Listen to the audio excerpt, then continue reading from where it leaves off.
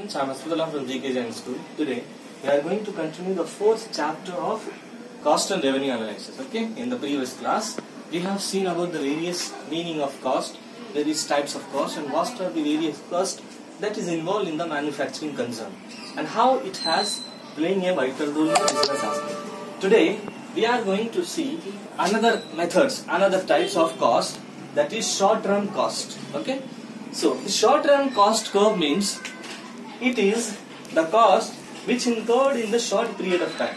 Maximum one year. So in a period of one year the thing the cost of any product take place. That's what we call short run cost. For any business when there is a small small adjustment small small output take place that is what we call short run cost.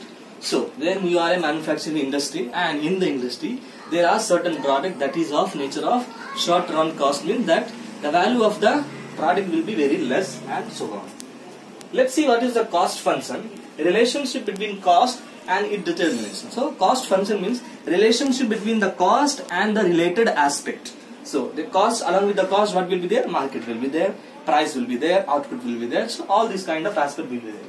You can aggregate in with the help of mathematical formula C is equal to F which means cost function is equal to S plus O plus P plus T and so on. It will go on like it. C means cost, O means output, P means price, T means technology. So these are the various things that take place in the short run aspect. Okay. In the short cost, it consists of three aspects. Number one, total fixed cost, total variable cost, and at the last, total cost. The overall total fixed cost we'll see in the last. Okay. So the fixed cost means here what happens? The cost does not change. In the total fixed cost the cost of the product will not change maybe of any reason. Whether there is a extra supply then also it will not change. Then there is a extra demand then also it will not change. So it will not change. The cost of the product the cost of the any product will not change over the period of time although there may be a extra demand. That is what we call total fixed see we have took one example. A just assumption. You can take any value. We have took output in units total fixed cost in rupees. When the unit is 0 the fixed cost is 1000 when the unit is 1 fixed cost again 1000 unit is 2 1000 3000 4000 5 and 1000 every cost is a fixed. 1000 1000 1000 1000 1000 1000 although there is a 0 and there is a 5 there is an increase in output but the cost will remain same because it's a fixed cost. Although there is extra demand, there is extra supply, the cost will not change. This is the philosophy of total fixed cost, right? Now we'll convert this method, these figures into a graph. We have to x-axis as output, y-axis as cost. 1, 2, 3, 4, 5, 6 we have to. Here from 200 we have get 1600. For 0 it's 1000. So for 0 we have marked 1000, right? For 1 it's 1000. For 1 we have marked 1000. For 2 is 1000. For 2 also 1000. 3 we have 1000. 4 again we have 1000. And 5 we have 1000. After that you just draw a line. This line is known as total fixed cost. The total fixed cost in a simple way will be equal to x-axis. That's the reason it's equaling to the x-axis. So there was an output, there was a fixed cost for everyone. From 0 to 5 it was 1000, 1000 and it made a curve of total fixed cost.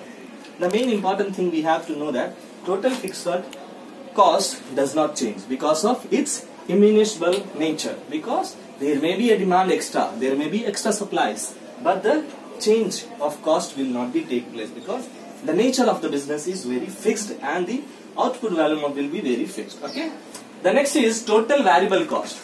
Cost which changes over period of time due to the change in supply and demand so there is a cost which is changing over the period of time.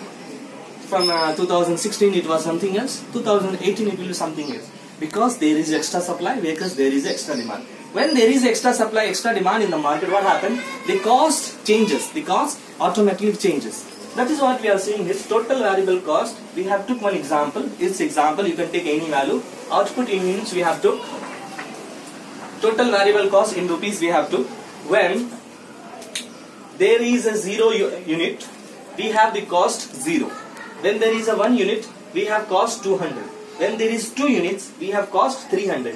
When there is 3 units, we have cost 400. When there is a 4 units, we have cost 600. When there is a 5 unit, the cost reaches to 900. So, the variable. So, when there was no demand in the market, 0 means a nil. When there was no demand in the market, the cost was also nil. The cost was also 0. When the demand increased to 1, the cost increases to 200 rupees per item.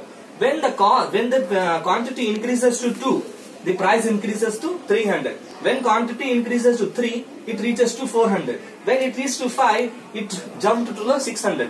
When the quantity is maximum 5, the price is also maximum 900. Okay? Easy to understand? You can take any value. You just have to show that x value will be changed. Variable. Variable. The word itself says variable, changeable. Okay? Now we'll draw the uh, graph. Output we have to x-axis, y-axis we have to cost. 1, 2, 3, 4, 5, 6 we have to get. So this is 1, 2, 3, 5. Here 200, 400, 600, 800, 1000 and 1200 we took as a cost. Okay? For 0, it's 0. So we have marked here. See? For 0, it's 0. We have marked here. For 1, it's 200. For 1, it's 200. So we have marked here. For 2, it's 300. For 2, so in between 200 and 400, in between there will be a 300. So we have marked here 300, right? For 3, it's 400. For 3, we have marked 400. For 4, it's 600. So near 600, we'll mark 4. For 5, it's 900. So 8, 800 and 1000. In between, there will be a 900. So in between, we have marked. And this is what we call total variable cost. So it will be going up and down and up and because of the demand and supply. Sometimes it will fall down also if you see other, other cases. So we have seen that when there was no demand, there was a no cost. When the demand increases, when the output increases, automatically the cost also increases. When TVC is zero, production is nil.